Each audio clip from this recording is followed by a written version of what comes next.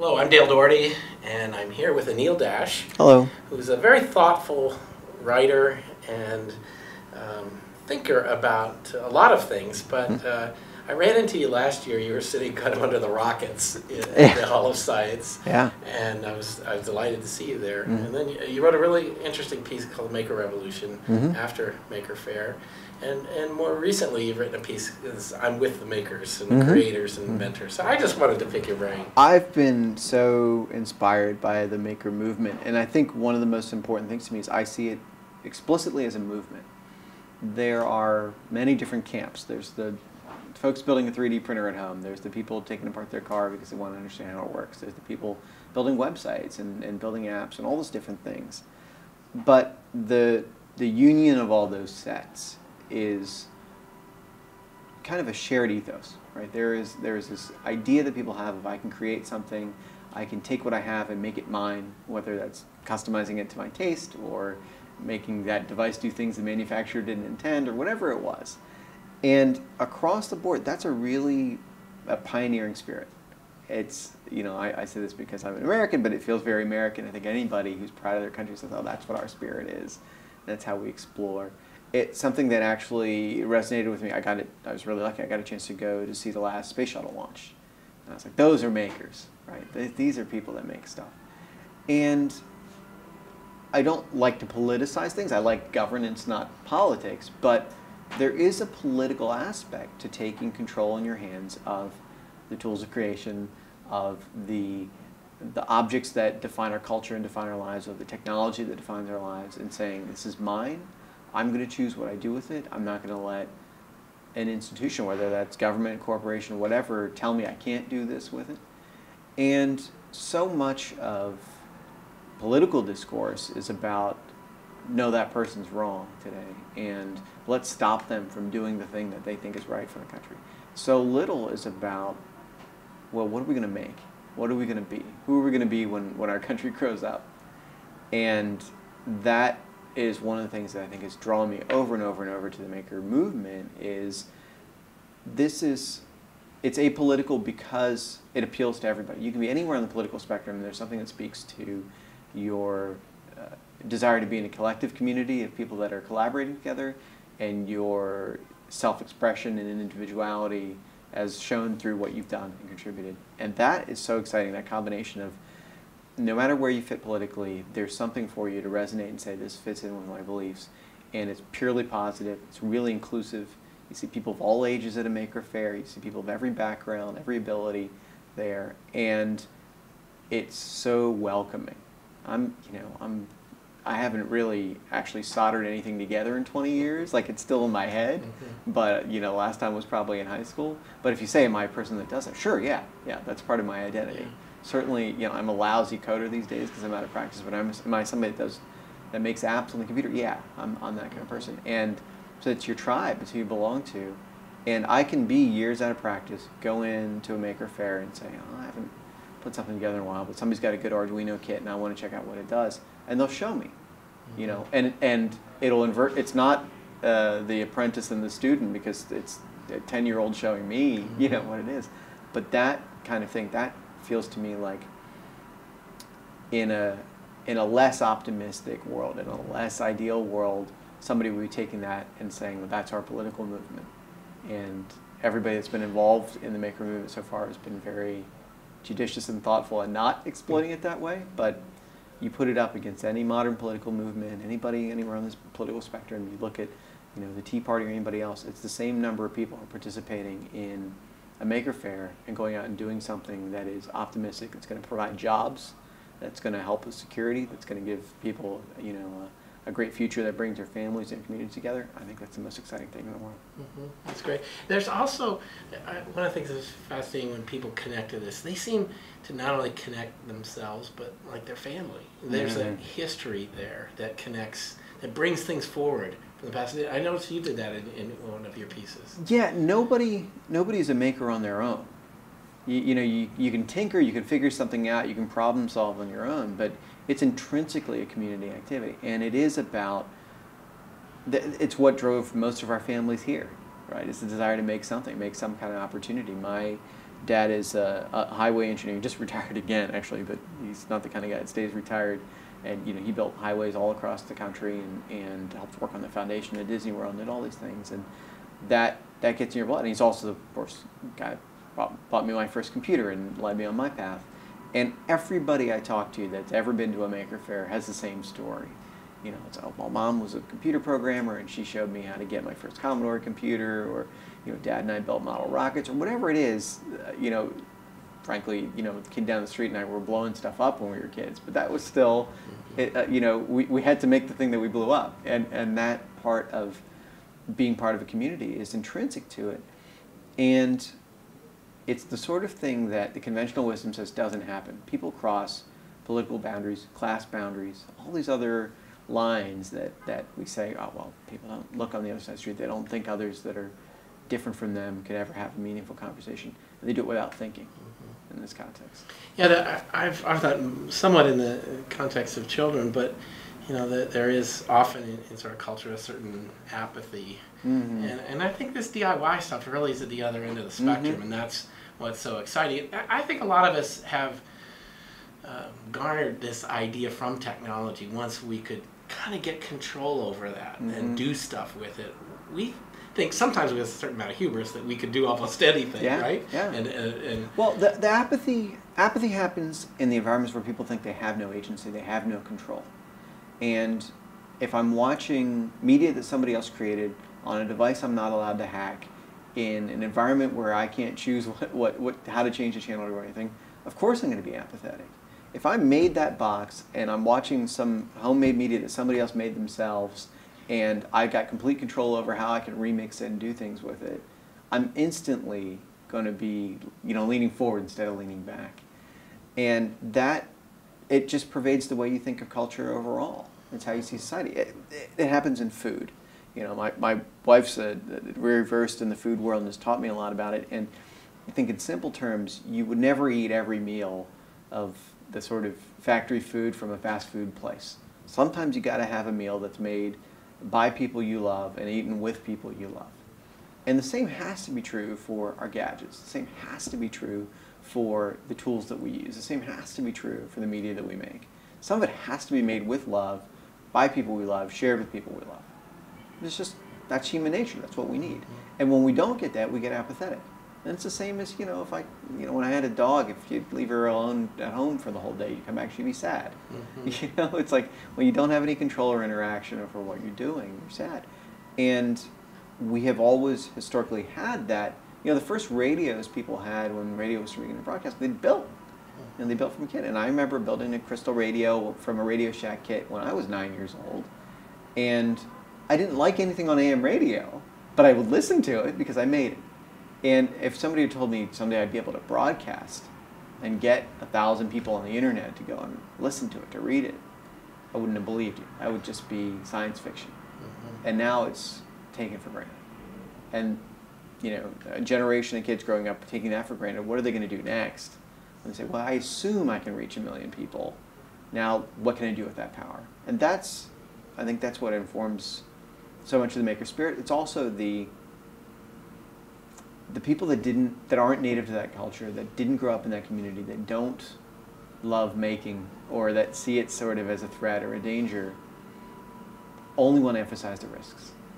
You know, and that and you should have somebody saying, you know, you'll poke your eye out. Like there's a there's a certain amount of, of let's be safe, but we haven't even begun to tap in to what's possible. Yeah.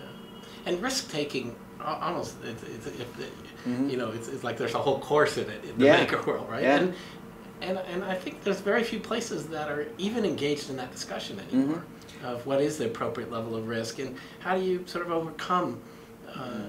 Uh, a certain fear of risks mm-hmm. and uh, a way to manage risks. So we're to, one of the things I think about a lot is how do you normalize risks. There's there are things people will say, oh, kids are bad power tools. But you let them swim in a pool, don't you? Mm-hmm. mm-hmm. Across you know? the street. Right and and you're not there because there's a lifeguard there. Well, and, and and it's also we, as people, we're bad at judging risks and understanding what are the real dangers. And there's a million examples, but the sort of if I've got a hamburger and the meat's from 100 cows instead of one cow, my risk has gone up, you know, massively. But I don't have any way of actually perceiving that difference when they're sitting on the grill. And so there are there are the invisible risks, and this always happens with with making. Is it simply is revealing that the the risk that was probably always there, and that's what makes people uncomfortable. Is they're really confronting. Gosh, you mean everything? You know, all our electronics could be hacked. Like everything, you know, there's never there's never something that's actually keeping you from harming yourself, but you feel like there's uh, a buffer between you actually having to confront it. And taking that away is really useful. Uh, I always go back to the media examples because I know that world pretty well. But the first time you actually you write a book, you write a story, you write a blog post, whatever it is, you start to realize, gosh, everything I've ever read in my life was made that way too. And the person writing it was as uninformed as I am about whatever I'm writing about or, or whatever. And and they often wrote the article as a way of learning. As a way of learning about it. to Exactly. It's to their like- credit, and it's a great way to learn.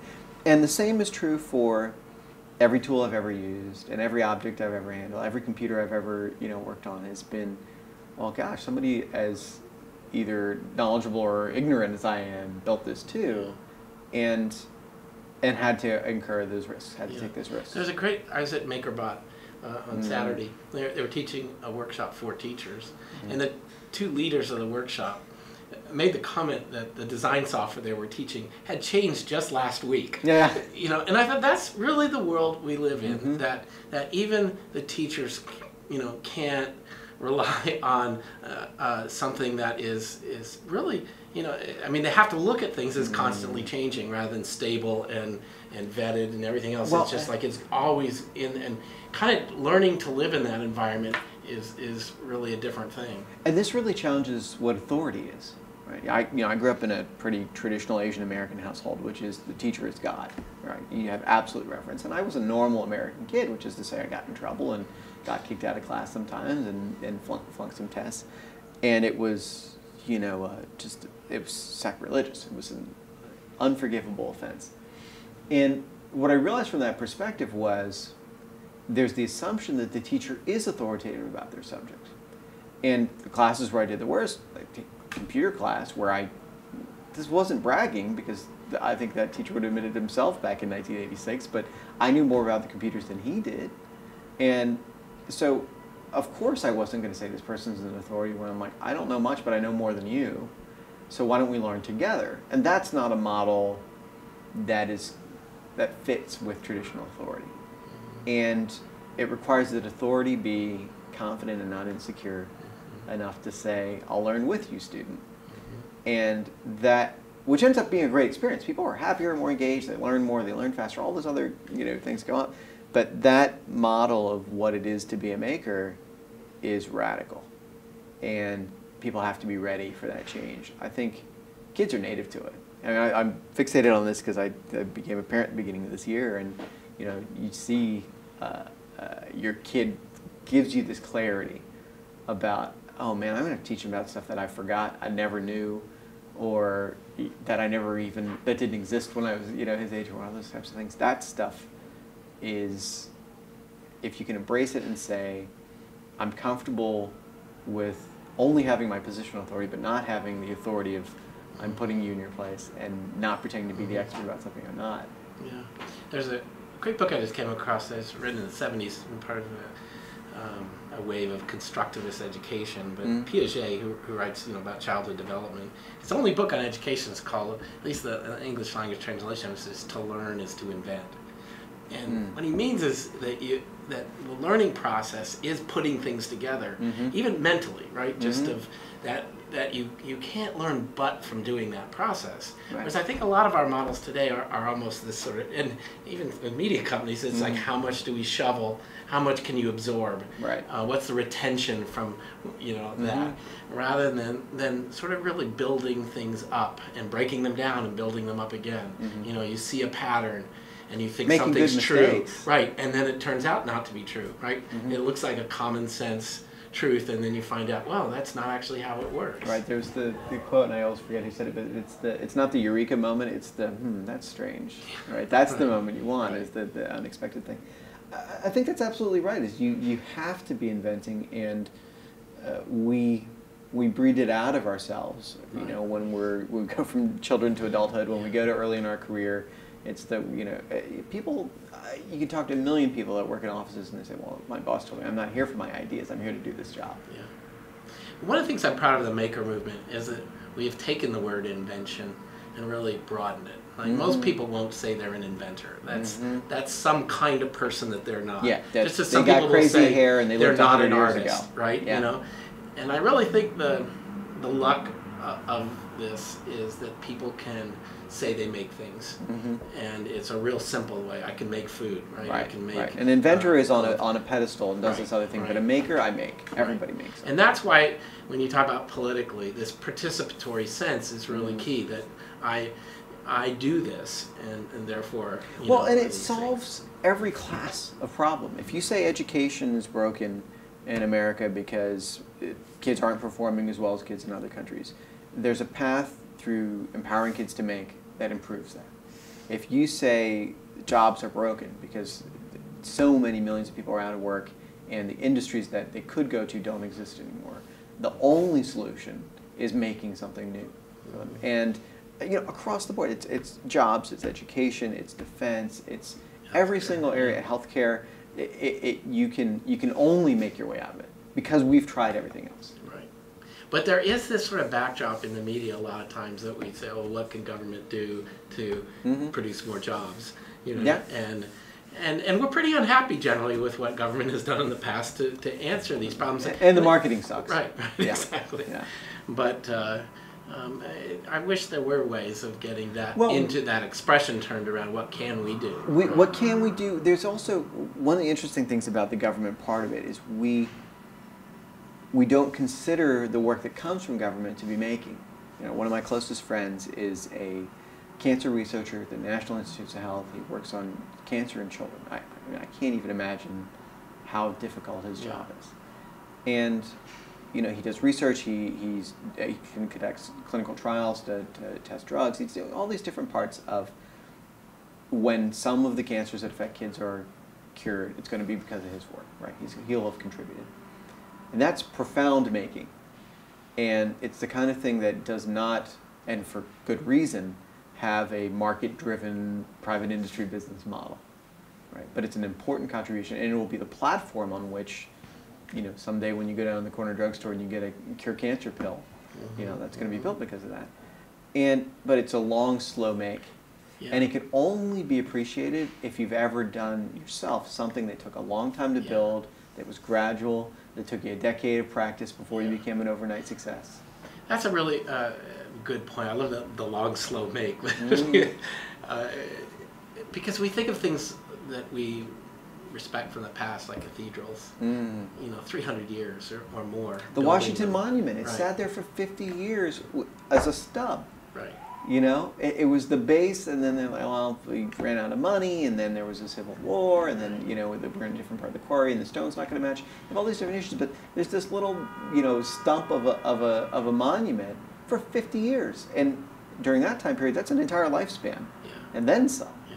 So, so there are people who were, you know, who lived and died in the interim when the Washington Monument Right. was just this weird-looking flat-top thing uh, in the middle of the capital city. But when we think about transforming our world or remaking it, it is these sort of multi-generational Mhm. solutions that we really Yeah. need to think about. Not just something that can be done in a in a single budget year or something that can be done in a single term. This is And that everything we look at is inspiring, is something that has that long, slow make, that has that period where it looks like it's stumped, it looks like it's stopped, it looks like it's been finished or, Yeah. or never will be finished. Uh, you know, here in New York City, I'm a huge transit geek, and we've been working steadily on having a Second Avenue subway for about 70 years. And we're going to get two or three stops done in the next couple of years.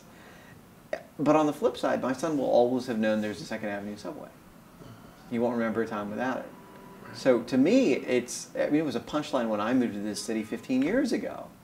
Got, well, yeah, we'll get that when we get a Second Avenue subway. And for him, it will just be always Yeah. there. And, and I think it's so so easy to just ignore right. everything we look at as a symbol. We look at as representing what we can achieve. Even and talking about having been at the last space shuttle launch, the building that they kept the space shuttles in was built for the Apollo program. So you're going back 50 years, you know, that these buildings were built and repurposed and modified by people that said, well, I can work with this. These are the raw materials that'll work. They have excess capacity because the shuttle's so much smaller than a Saturn rocket. Mhm. And that's classic making, right? That is just that we're going to reuse what we have and put it to use, and it'll last us 50 years instead of 10. It'll work us through three projects and all these different missions. And it which sort of ties back to the the importance of that, and what I'm most satisfied about is seeing making connect to kids. You know, Mhm. because if we we can't do this in this generation, we've Mm-hmm. really got, you know, to get them to do things, and they're going to do things and pass that on as well. Well, and we haven't proven we're any good at it. right. I mean, one of the things adults forget really often is we don't have any credibility. If we say, well, kids, you should listen to us because we know how to fix the jobs problem, we know how to fix the environmental problems, we know, no, we don't. Like we de- demonstrated we don't know how. Like well, our, our credibility should be nothing. And so, like the, the starting point should be all we can give you is is some lightly used materials that hopefully you can repurpose into coming up with a real solution. Right. Well, again, I, thank you for, for, for talking here. I just th- think you have this really great insight into what you sometimes call the political or social context of making, and, Mhm. And uh, sometimes that scares me to talk on that level. Well, I, I, but you know, it, but I, on the other hand, I'm one of the words that I'm really happy, and it comes out not from me saying it, but other people say, you know, this making is kind of subversive. Yeah, you know, they'll say yeah. that, and and I'd rather them draw that conclusion than just Mm-hmm. repeat something that we say. But it makes, I, I think it is. It's subversive in a good way in the sense that America is a radical country and a radical nation at its core. Right? There, there, that is a, is a place joined by an idea at its highest ideals. And fundamental to that is creation and making. And I, I, I thank you because you have led it without ego and with humility that lets people take what they want from the movement and, and literally make it their own. And that's the kind of thing that that lets people actually be constructive with one another and cross the boundaries where if you go preconceived notions of well I have to affiliate with these other kinds of people or achieve this goal they would never think of. Yeah, one of the it kind of relates to this. One of the things that's I see even having done last year's fair to this Mhm. year's is the people that met last year and used each other as resources, Mhm. right? Of Mhm. some homeschooling mothers say my son is really you know not happy in school. Mhm. I'm gonna, uh, uh, but he needs connection into a community like this. Goes and talks to the hackerspace. Mhm. Says, is it, would any of you come and meet with us regularly? Mhm. And last Saturday he was a he was an intern at MakerBot That's that same kid, you know, within one year, Yeah. and so And it changes your life. Right, right. I mean, small choices of, you know, my dad said they should play with the spreadsheet app when I was eight years old, changed the course of my life. And, you know, it was, wasn't a, he wasn't making a profound right, decision on his part. He, he just revealed to me that I could make something. yeah, that's great. Thank you, Anil. Thank you.